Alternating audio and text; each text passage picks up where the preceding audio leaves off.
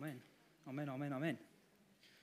Well, we are still in our series, um, and today our topic is uh, called to generosity. So we're looking at money today. And um, Jesus spent 25% of his time talking about money or possessions.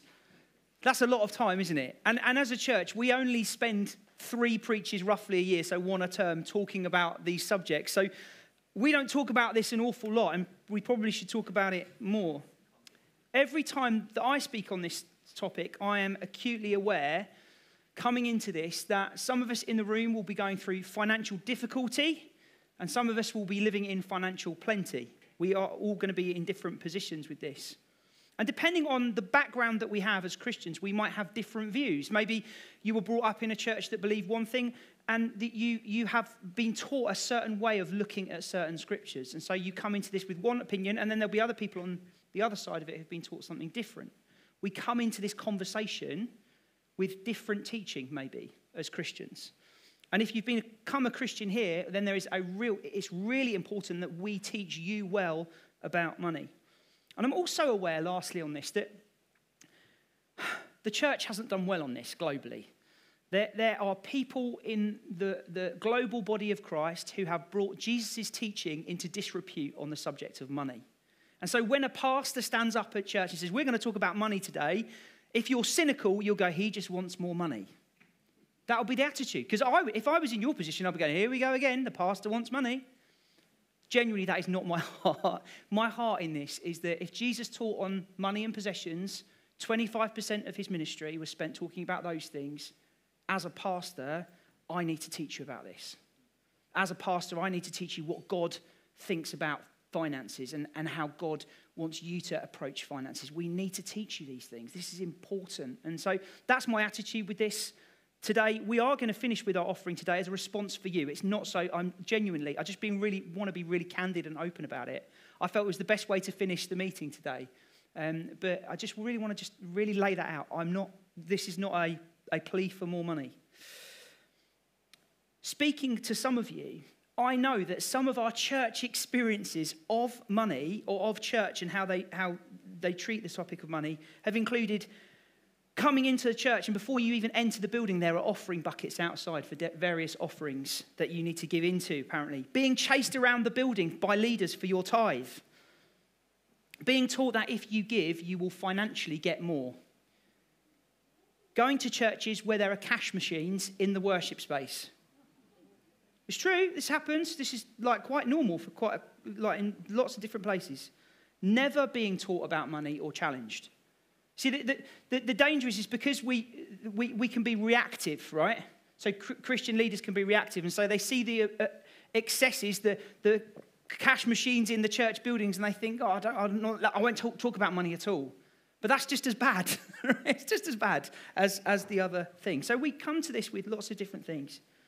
We also come into this conversation today knowing just how important money is. I mean, I, I, I'm a, I love politics. I really love politics. And so now that the election's over, I don't know what to do with myself because I listen. I, if you want to talk to me about a podcast to do with politics, I will tell you about it. Um, I think I'm now going to get interested in the French elections just to give me something to think about. Um, but our election was paid out, was, sorry, was played out with a, a background of the financial um, kind of cost of living crisis. And the, the main parties was all about tax. It was, it was a, a central part of what was being kind of spoken about.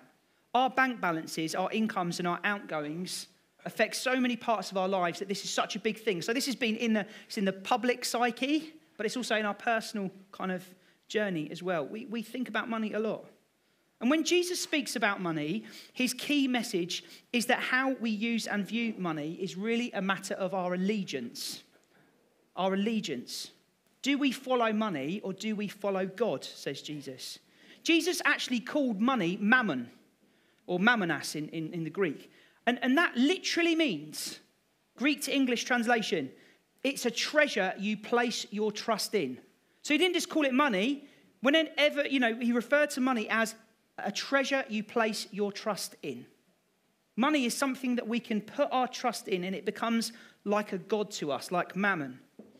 Um, we've just had my niece who lives out in the States staying with us. And a few weeks ago, Jude, my son, and I, we were having a conversation about the fact that um, every country in the world has different currency. So those of you who've watched Bluey, as like if you've got young kids, if you haven't got young kids, it's just brilliant anyway.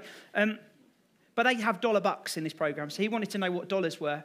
Um, and so I asked my sister to send me some American money over, and she's so generous, she sent me a $1 note. But I'd forgotten that on a $1 note is the words, In God we trust. In God we trust. Isn't it like kind of almost ironic and, and an oxymoron?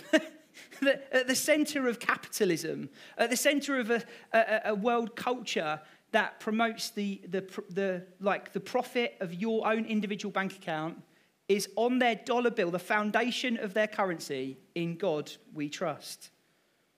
See, the question that Jesus presents us with is what or who are we placing our trust in? He consistently sought to challenge not only his disciples, but also those in the wider society around him regarding people's views about money. And one such piece of teaching is the parable of the shrewd manager in Luke 16. So if you've got a Bible, that's where we're going to be today. But before we get there, I just want to give you a caveat to this. I did not want to preach on this passage. I kept saying to God, God, stop leading me back to this passage. This is the most complicated parable Jesus tells. And so I'm going to do my best today at helping to expand this and expound this for you and help you show you what Jesus is getting at. But this is complicated because we could misinterpret this quite easily if we're not careful. So we're going to start from verse 1 of chapter 16, and I'm reading from the NIV today. Jesus told his disciples there was a rich man whose manager was accused of wasting his possessions.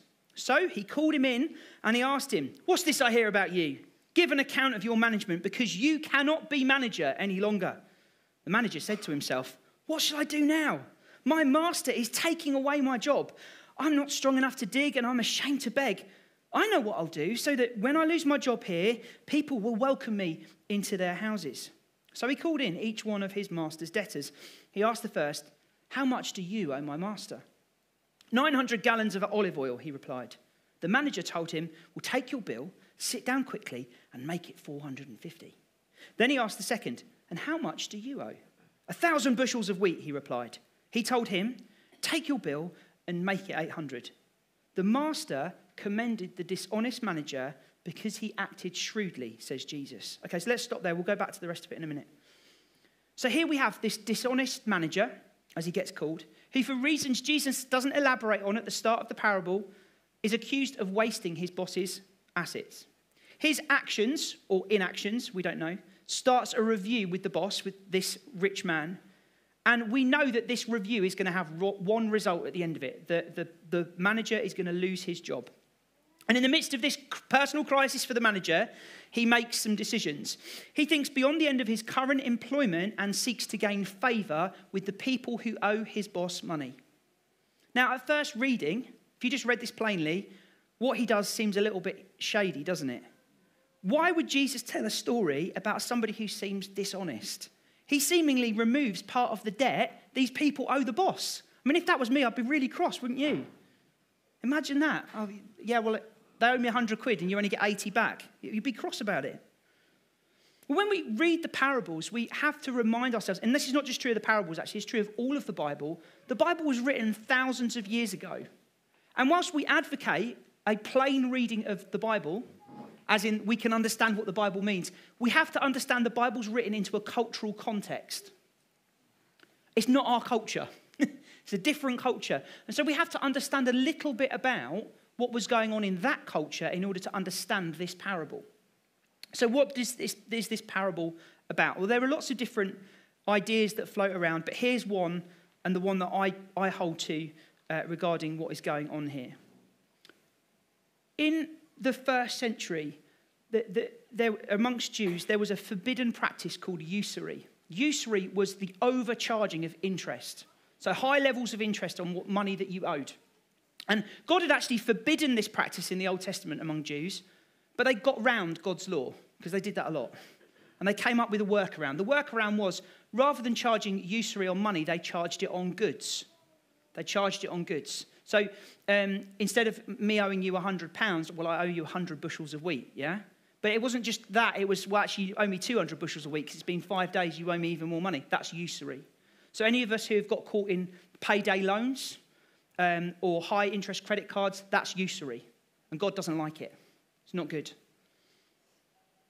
So, the manager in this story is a debt collector for this rich landowner who himself is corrupt. He's charging usury on his land.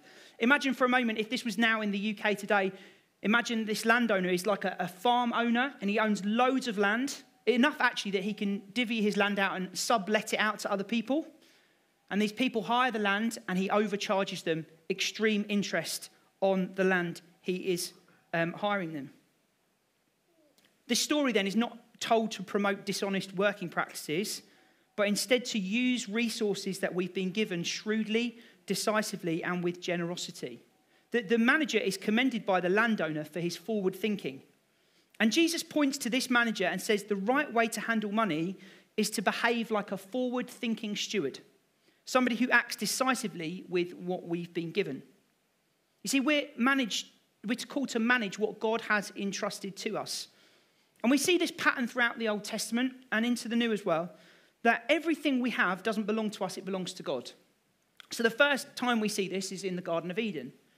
God owns the Garden of Eden and he creates Adam and Eve and he makes them gardeners to tend for what he owns. They're his gardeners. Then we see this in Leviticus, Leviticus 25, verse 23. God tells the Israelites as they enter Canaan, as they're in Canaan, he says to them, You are to be tenants in my land. It never belong, doesn't belong to them, it belongs to God. They're tenants in the land. God owns the land. We see this in the Psalms. He's the one who owns a cattle of a thousand hills. And we also see the earth is the Lord's and everything in it. Everything belongs to God. And we are stewards of what he owns. In the New Testament, we get to 1 Corinthians chapter 6, and Paul actually goes a step further. He says it's not just about other things, you yourself belong to God. If you're a Christian, Paul says to you, you are not your own, you were bought at a price. Therefore, honor God with your bodies. Paul says, look, your bodies belong to God. He's entrusted them to you. You're to steward wisely what He's given you. Therefore, honor God with it. The good principle. As Christians, we are called to steward the world that God has entrusted to us. We've done that so badly, haven't we? That's why we've got a, you know, a global crisis in terms of the, the climate, because we've not stewarded what God's created. We're also called to steward our bodies that he claims ownership over. Like the manager in our story who was entrusted with his boss's land, everything you and I have is not yours, it's God's. We're stewards. It's what Jesus is getting at in this story. And secondly, we're called to an attitude of generosity. If you are in Christ, we t- teach on this a lot. You keep needing to hear this. You are a son or a daughter of Father God. We, we, we have to keep working away from performance mentality. I need to get God to like me more. We have to keep living into a mentality that God is our Father and we are his sons and daughters. And Romans 8 says that the Spirit empowers us and testifies to us that we have been adopted as children of God. And when we read Galatians 5, the fruit of the Spirit love, joy, patience, peace, faithfulness, self control. Well, the fruit of the Spirit are the characteristics of God. The fruit of the Spirit, the characteristics of God. As the Spirit works in our life, what He does is He makes us more like Father God. The Spirit's work in our lives is, is to, to, to, to be that voice in our lives that cries out, Abba, Father, I belong, to the fa- I belong to the Father as a son or daughter. But His role is also to produce fruit in us that we might be like God, that we might be children of the Father. Jesus, alongside using this story to show us that we are stewards, just like the, um, the, the manager is a steward, Jesus is also teaching us something else, and it's like a, it's a comparison. It's a comparison. He's teaching us something about the character of Father God through this rich landowner. You see, our Father is not like the landowner in this story.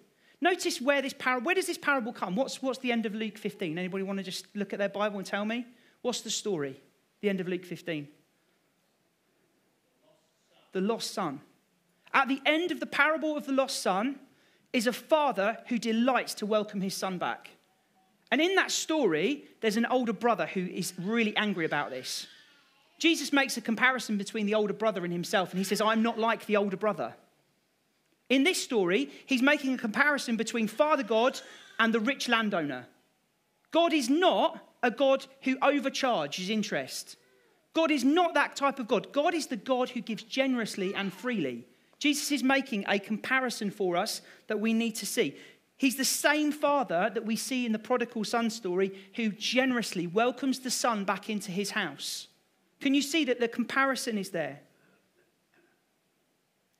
John says to us, chapter 3 of John's Gospel, the Father gives the Spirit without limit.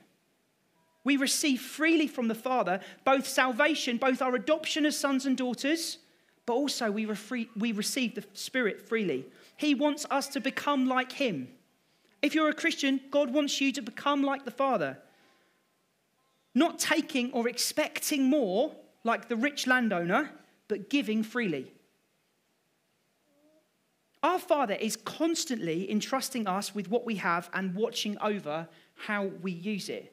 What you've got in your bank account today has been entrusted to you by God, and He's watching you, watching how you're going to use it. And it's not like an overbearing boss micromanaging everything you do, checking your emails every day to make sure you're doing your job. It's not like that. It's like a father watching their children to see what they do. It's the delight of the father in you, not an overbearing boss who's going to be cross with you. But it's a delight of the father to go, Have they got it yet? Do they understand my generosity? Are they going to start behaving like me? Does that make sense? That's how God sees you. He's looking for those moments. Yes, you've got it. You've got my generosity. You see, we're called to generous stewardship of what God has given us to demonstrate the generous generosity of our Father. So Jesus then goes on to teach this, and he says this from verse 8b onwards. So we're back in our text again in Luke 16. For the people of this world are more shrewd in dealing with their own kind than are the people of light. I tell you, use worldly wealth to gain friends for yourselves, so that when it is gone, you'll be welcomed into eternal dwellings. Whoever can be trusted with very little can also be trusted with much, and whoever is dishonest with very little will also be dishonest with much. So if you have not been trustworthy in handling worldly wealth, who will trust you with true riches? And if you've not been trustworthy with somebody else's property, who will give you property of your own?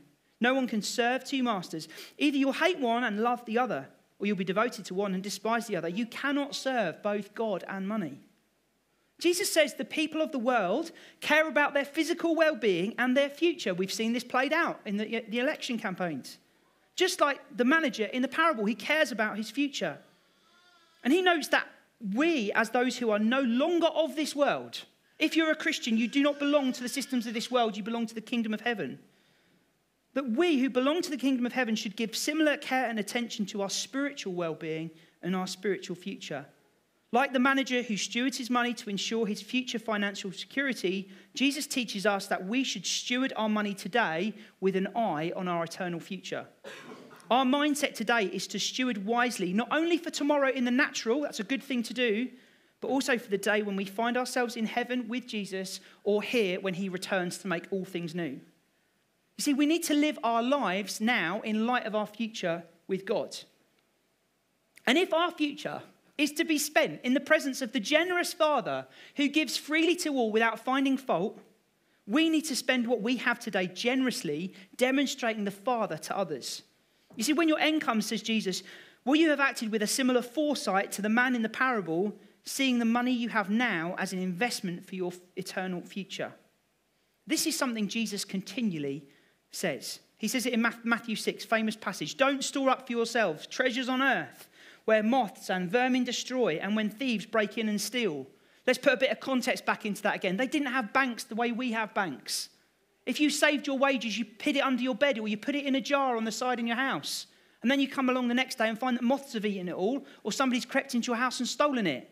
Jesus says, don't behave like that. He says, store up for yourselves treasures in heaven where moths and vermin do not destroy and where thieves do not break in and steal. For where your treasure is, there your heart will be also.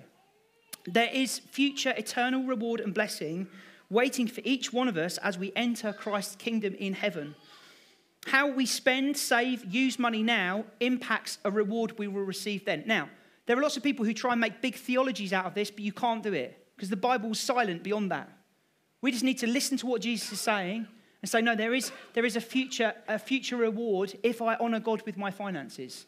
I can't tell you and elaborate on what all that will be, but I know that Jesus teaches us it.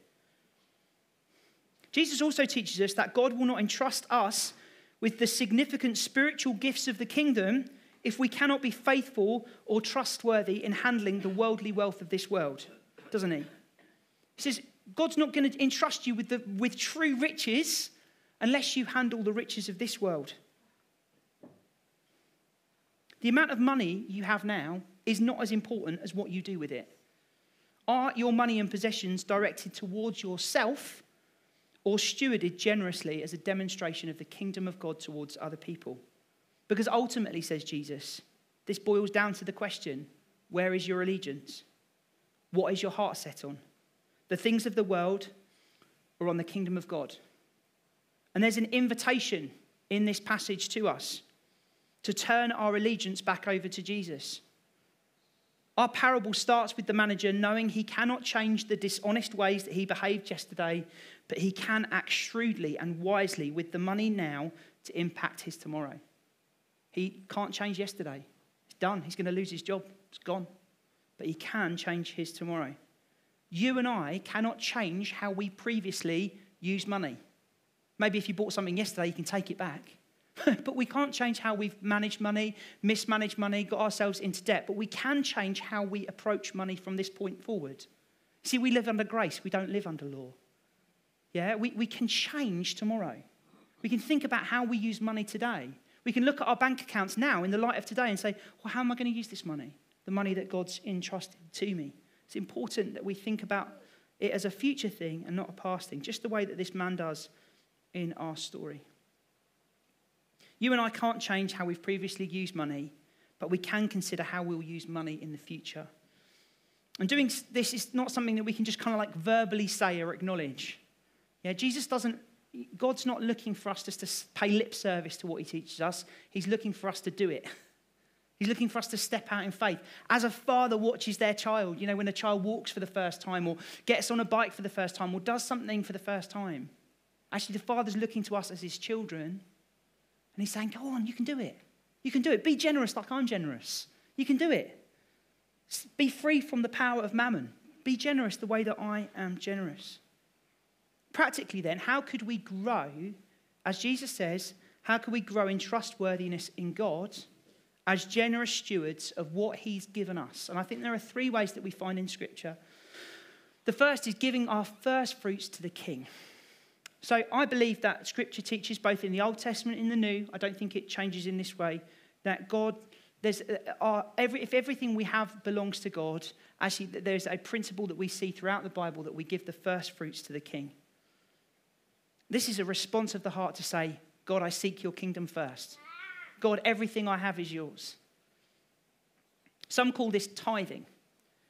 Um, and I don't think that's helpful. Because for some of us, 10% is a, an awful lot that we're still growing on faith journey for, and others of us, 10% is nothing. And so it's an attitude of the heart. So I would always talk about it being a proportional gift to God. Proportionally, out of your earnings that you've received, what's your first fruit that you want to give back to God? As an act of worship to Him, as an act of demonstrating I believe in a generous Father. Every month I give, Claire and I, my wife and I, give 10% of our money to God as an act of worship. And, and notice this distinction. I, we genuinely, as a leadership team, we do not believe that when you give money here, you give it to Gateway. You're giving it as an act of worship to Father God. And then it's our response as wise stewards of what's been given to honor God with it and to make sure it's invested in seeing the kingdom of God outworked in our community. That's, what, that's how I see money. I hold this responsibility sometimes too heavily, and I have to remember that Jesus' yoke is easy and his burden is light because we want to be responsible with it. Because I see how many churches dishonor with money. We need to hold this very, very sensibly and want to honor God with it. So, first of all, give your first fruits into the king and his kingdom. Secondly, a way that we can learn the generosity of the Father is to be generous with those in the church. So, when the early church starts in Acts 2, We have them giving to one another as they see needs. And then by Acts 4, as the church is getting more and more established and they're really learning one another's needs, we see people in the church community selling their houses and selling plots of land to meet the needs of poorer brothers and sisters in the church community. It's how we're first introduced to Barnabas in the Bible. Barnabas sells a plot of land and he takes the proceeds and he lays it at the apostles' feet. We're called to be those who are generous to those in the church, that where we see a need, we meet it. And so, like, our church is incredible with this. People are often giving gifts to one another secretly where people don't know, or publicly, you know, I want God told me to give you this, or making meals for one another, or generous in terms of our time, I'll help you move house, or generous in terms of our time, I'll look after your kids, or generous in terms of our time, let me help you do your garden. We're generous. But we can keep being more generous. We can keep growing in a, in a walk of generosity with those in the church community. Thirdly, we're called to steward the Father's, generosity to those outside the kingdom. This is so important that we learn we're called to be those who demonstrate what the Father is like to the society around us. What would it look like for you this week to be generous towards somebody who does not know Jesus? So I've been thinking over the last couple of weeks, I've, I feel like the Holy Spirit's trying to kind of encourage me towards doing it, but I'm still trying to figure out a way that I can do this. Um, which is I want to pay for somebody for something, like whether it's in front of me in a queue or behind me in a queue. So I'm going to wait for that moment, and God's going to show me who it's for, and I'm going to do it because God's been speaking to me about it. So I'll tell you when I've done it, but I feel that's what God's teaching me on this. And I, as we, I was preparing this message, I said to Claire, Claire, we need to, we need to have a chat about our money again because we need to take a step forward with our generosity. Because every time you start being more generous, God goes, be more generous again. It, doesn't stop. Keep being generous. So we need to go away and we're going to have a conversation. We've, we, we just uh, let's have a chat about how we can be generous with what God's given us again. But that's for me. For me this week, I'm going to look for that opportunity. What could you do this week to show the Father's generosity to somebody around you? How could you steward the Father's generosity to those outside the kingdom? And in doing so, as Jesus says in this story, we want to make friends of those outside the kingdom that they might know Jesus and be brought into the kingdom. I want to use my money to demonstrate the generous Father and to demonstrate the heart of a gospel of a God who gives freely, that people might know and meet Jesus. How could you do that this week? So, they're the practical things, practical challenges for you, things to think about in your life. And this isn't the sort of uh, preach normally where there'd be a, a kind of like um, you know, a, a, response in a way that we might want to pray for people. But I do feel that there are two groups of people this morning that I do feel God wants to just speak to. Um, as I was preparing this, I just felt God leading me towards this. I feel like, I mean, this is an obvious one, but there's a few people here I really feel your allegiance is misplaced. And as I've been speaking to you about this this morning, the Holy Spirit has just been speaking to you about your misplaced allegiances with money. Like, if you were to get that dollar bill out, it would say, In this note I trust. I need the money. I just feel like we've been we, it, funny, you know, how these things all fit together. But you know, Pete, uh, sorry, Fran uh, led on that uh, break every chain this morning. I, I just really feel that there's an opportunity for some of us to be free from that this morning, be free from that allegiance in our heart towards money. And we can do that as we just turn towards Jesus again and say, Jesus, you're king. So I want to pray for you in a minute. That's the first group. And maybe if you're in debt, I just really encourage you, if you are in debt and you're really struggling with it, please come and speak to us about it. We'd love to talk to you about that. We've got people in the church who can help you manage and talk to you about budgeting. And we'd want to walk with you and stand with you in that. I know that for some of us, debt is a huge thing, and we want to, we want to be helping you with that um, practically in, in, offering you ways of you know, money, budgeting, and all those types of things. The second group, um, I just felt, as I was preparing this, like yesterday, last night, as I was going through it, there's, there's, there's people here who you're just gifted at making money. You are. You're gifted at making money. It's like you do something and all of a sudden you make money out of it. And you're not in allegiance to money. It's not like it's an act of worship for you to make money. In fact, you know how to steward the money well into the kingdom, and you've been faithful with what God's given you. I just really felt there was like a con- commendation from the Father over your life today. It was like a well done. So you'll know who you are because you'll have money, and you'll know that you're giving it away. But I just felt God wanted to say well done to you whoever you are this morning. But I also feel that there's going to be a season where God's going to entrust you more, because is what Jesus teaches us in this. And when he entrusts you with more, I, I, I, I kind of was saying, God, what's that going to look like? It might be a new job, might be inheritance money, it might be a, a, a salary increase. When you get the more, it's not a celebration to say, yeah, I've got more money, I'm going to go on holiday with it. But it's actually, God, what the, the response from you at that point in time is, God, what do you want me to do with that money? How could I sow this back into the kingdom? Maybe it's giving it away to somebody in need. Maybe it's giving it away to uh, uh things that are going on here or through the church into other places. Maybe it's those things. But there'll be a, a response, and you're, you're going to need to, at, at that point in time, say, God, what do you want me to do with this?